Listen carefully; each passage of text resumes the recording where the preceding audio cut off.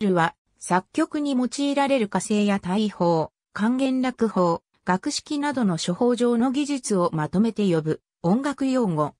日本では東京芸術大学で教えた池内智次郎の影響により特にこのフランス語が定着しており、英訳のライティングはあまり日本では用いられない。一般的には処方あるいは書式という日本語訳が用いられる。これらは作曲を学ぶ際別々の項目として、なおかつ同時並行して学ぶべきであり、音楽大学等の作曲専攻ではこれらの各項目が一つずつの単位として数えられるのが普通である。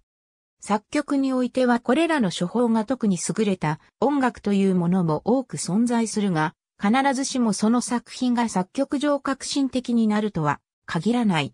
むしろ処方が優れるということは、従来の様式においての技術の習得を示すものであり、保守的とみなされるのが常識である。大学や音楽院などの音楽教育の場においては、この処方の習熟がまず評価の対象とされやすく、これは多くの作曲コンクールにおいても同じことが言える。時代が下るにつれて12音技法や電子、音楽制作法なども、この作曲語法の範疇に入るようになり、従来異端や前衛と言われた語法も次第に社会的に認められ影響されてアカデミックな教授体系の中に組み込まれている。現在は現代音楽家がヨーロッパの音楽大学の中にすでにあり、教えられる技法はすべて戦後以後の音楽理論である。ありがとうございます。